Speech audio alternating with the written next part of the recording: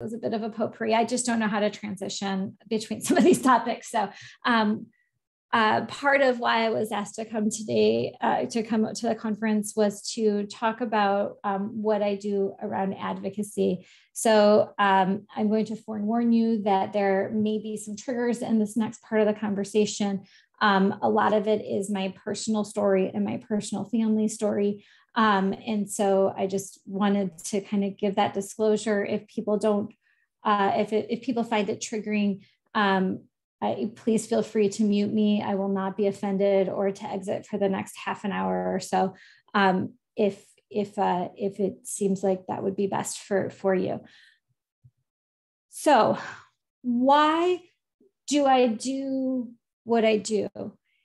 It's really hard to answer that question. There's a lot of really great reasons that would kind of fit nicely with my life story, but you know, none of them are really accurate.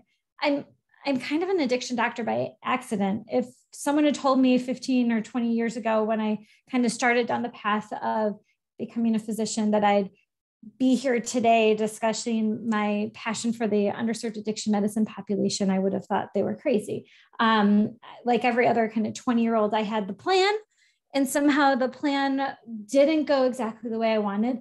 I'd like to say today that I'm on plan B or C, but I think I'm on like plan Q or Z. I don't know. I might be on plan like double, you know, triple A at this point. Um, and uh, life just kind of has a way of doing that to all of us. Um, and so I'm going to go back to when I was seven years old. And my grandfather asked me if I wanted to be a lawyer like my father. And I, it's like, it's like family lore now, right?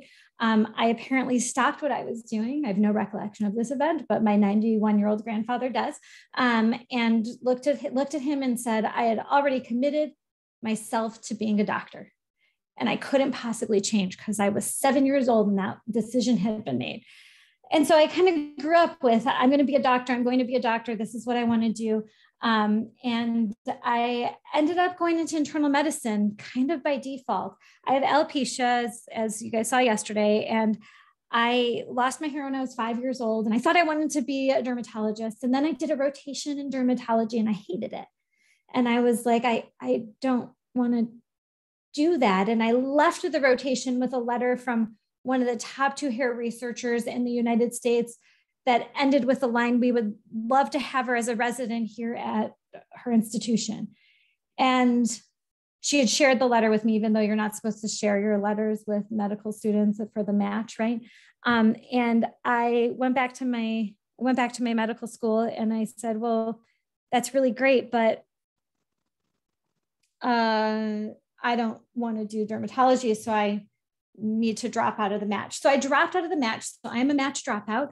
Um, and I did a transitional year because one of my advisors said, You can't have no job when you finish medical school.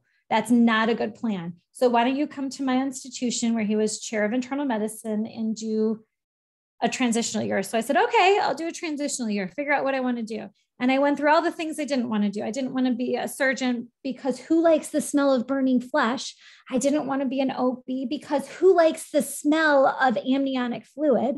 I didn't want to do anything that was smelly. So I decided to go into internal. I also didn't want to work with children because I didn't have children at the time and sick kids kids and parents and scariness um, to me. So I said, okay, by default, I'm going to go into internal medicine because I basically excluded everything else. And I guess I could, there's like kind of lots of branches of internal medicine and we'll go there. So I went into internal medicine, decided I liked it because of those longitudinal relationships. So it was going to be an outpatient primary care doctor. And then I went to my residency. I was fortunate to get a PGY2 spot. So I didn't have to repeat my internship. Yes. Um, and we had a buprenorphine clinic embedded in our residency clinic. This was so long ago that we actually called it the Suboxone clinic. So we had a Suboxone clinic in my residency. And I was the resident who kept getting assigned to it because I didn't whine about it. Like I didn't dislike the patients. I didn't love it, but I didn't dislike the patients. Um, and then I had kind of this typical residency experience where you, where like I was, I was in February of my final year of residency. I went in the room. It was obviously a person on buprenorphine, and she had a positive urine drug screen, not confirmed.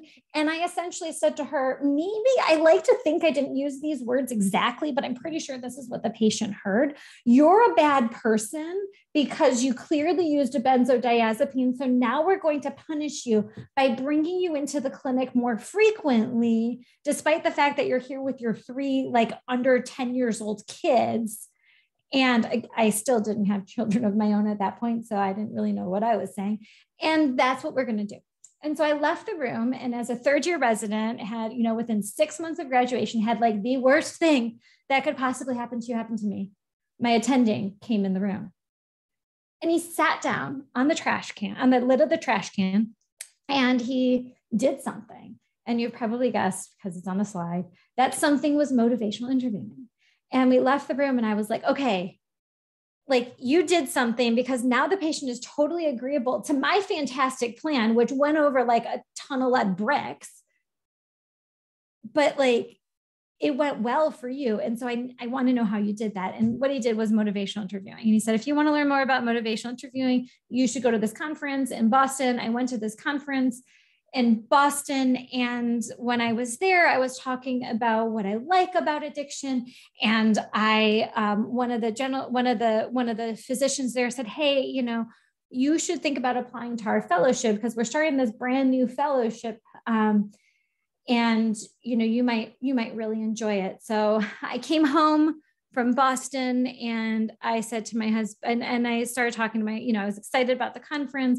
And a few months later, I was still talking about this conference. And my husband, um, who was in the commercial workforce at the time, he's no longer in the commercial workforce. He quit to take care of our children um, seven years ago when my daughter started having seizures. Um, and so he uh, he said, you know, at the time he was VP of engineering for um, a company and they were venture backed in Boston and uh, their engineering offices were where we lived in Ann Arbor at the time. And he said, you know, I can just like flip it because at the time he was going to Boston for a week a month for the business, you know, end of things. And he was in Ann Arbor for three weeks. He was like, I could just do the opposite. So we moved to Boston. Um, meanwhile, um, during my I did a chief year while we while I was applying, and in July of my chief year, um, my mother died of something called bronchiolitis obliterans obstructing pneumonia, um, a consequence of a historical suicide attempt. I started my fellowship 10 months later.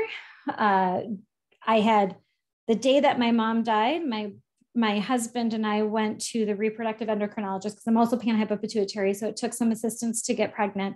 Went to the reproductive endocrinologist office and saw our son's heartbeat for the first time at 11 a.m. and my mom died at 1:15 p.m. that afternoon. Um, so 10 months later, I started. Um, we moved to Boston. I started my fellowship, and um, and in December of that year, my brother died. So that's my mom, and that's my brother. Um, and he died of a self inflicted gunshot wound secondary to his alcohol use disorder. And there was not a time and not a day that my brother was offered medication to treat his alcohol use disorder by a competent prescriber. I would talk to him and I would say, Have you tried medication? Would you let me talk to your to your treatment team? Can we talk, can we get them into this? Um, a few a few weeks after our mom died, he had moved from Michigan, where we grew up and lived, and where he, you know, our stepfather was, where he had friends, and moved to St. Louis to start um, law school, where he literally knew not a single person. Um, so he went into a self-imposed isolation. Unbeknownst to us, he dropped out of law school.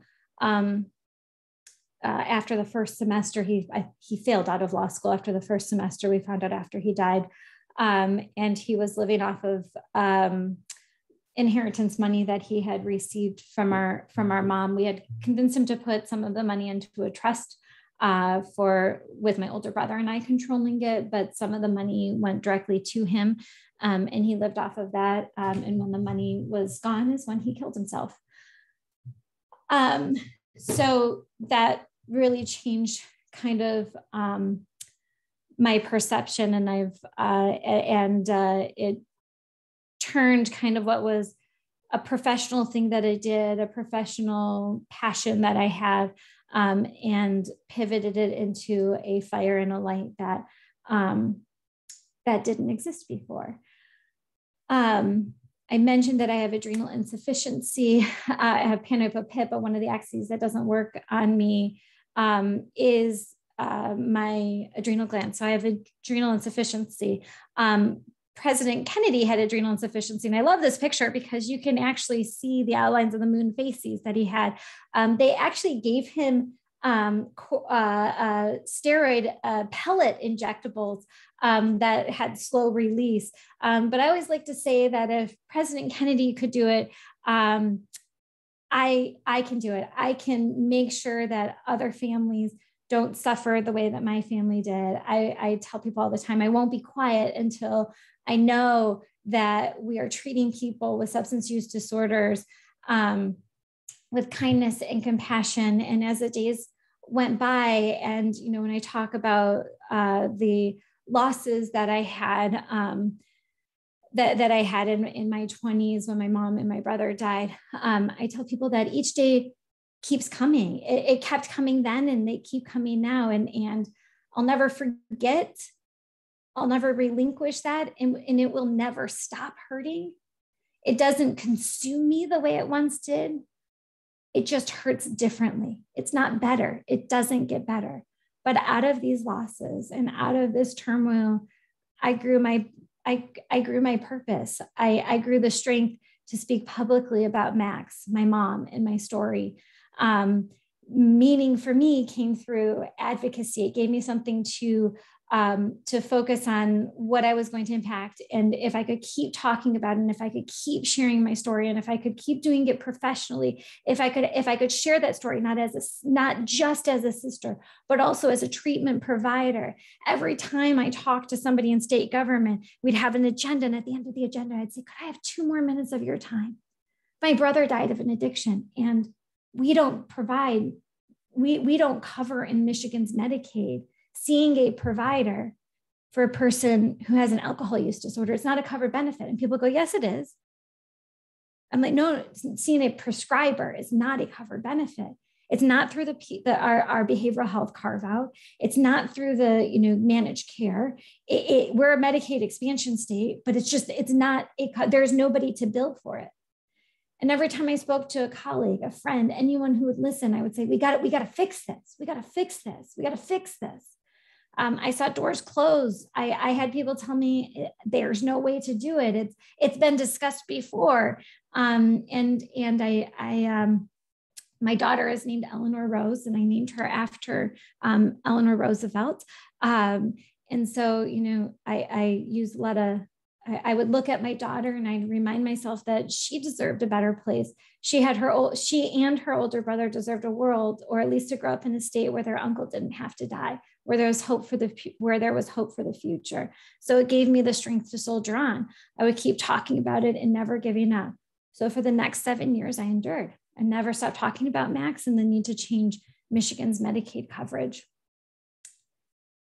So I call it my seven years war. So the seven years war was from 1756 to 1763, and it was a global conflict, a search for global primacy between Britain and France. Essentially, it was a war of territories. And I and and this was a war of territories in Michigan. The um, behavioral health carve out wanted to own substance use disorder, but didn't want to pay for the physicians. The HMOs didn't want to own behavioral health and substance use disorder because it was another cost for them to have. So they said it was. So they did. So everybody was fighting over whose responsibility of it. In Michigan, our behavioral health carve out created this siloed structure where mental health counseling and methadone were separated from the rest of a person's health. Uh, but neither the mental health carve out or the Medicaid HMOs were responsible for paying for treatment that involved prescription medication or seeing a prescriber. In 2014, they opened limited services around opioid use disorder, and this expanded coverage uh, went into effect August 2nd, 2021. So it just went into effect. I'm actually working with um, folks over at uh, folks over at the Opioid Response Network to help get uh, this message out to providers. Um, I can't tell you the number of times I've heard it's not a covered benefit. We can't do it. It's not reimbursed. Um, and I get it. I get it. We can't give away care for free. But as we've talked about today, there are so many ways that treating addiction reduces healthcare costs. You saw the return on investment for a recovery for a recovery coach. You, um, we know that there, there's evidence that came out of Kaiser Permanente that shows for every one dollar spent treating addiction, the healthcare system saves four. In just in general, um, but but we didn't see this. And in my journey of ad, of advocacy, I came across so many people, and and Andy re, uh, Andy has referred to me as as as the Yoda of addiction medicine. Um, in Michigan, because it's like all past um, medication for addiction treatment kind of come back to me because I, I, don't stop talking about the importance of, of covering this and now providing it and empowering our prescribers and our providers to treat persons with a substance use disorder because no family, no family needs to suffer and live every day wondering if things could have been different for their loved one if they'd only had access to FDA approved medications to treat a substance use disorder. And I will live with that for the rest of my life. Um, thank you, and um, thank you. I, I'm almost done, I promise. In our society, when we look at people, we judge them. Um, can anyone, well, I usually have an audience response, but we won't do that. Um, so this is Stalin, FDR. I have a love affair with the Roosevelts, um, and Winston Churchill. And when I look at this picture, um, these are people who were larger than life. This image shows Stalin on the left, FDR in the middle and Winston Churchill on the right during a summit in the midst of uh, World War II. Um, let's look at their body language. Churchill's kind of slumped down, looking kind of gruff and disgruntled. He was not feeling very well during the summit. It was um, it was in it was in Africa, um, and Stalin is Stalin is kind of sitting erect with a ramrod straight back. And FDR almost didn't make it to this picture.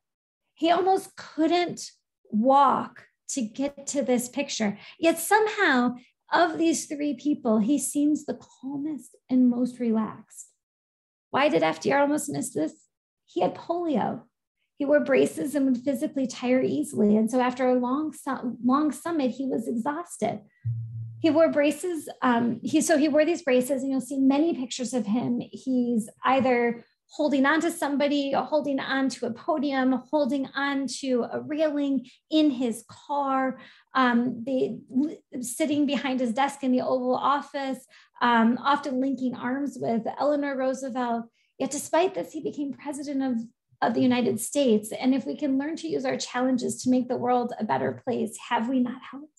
Could we, in our position as healthcare providers and sort of gatekeepers, help give people the gift of hope that they can learn to lead their lives with the disease of addiction rather than letting their disease lead their life?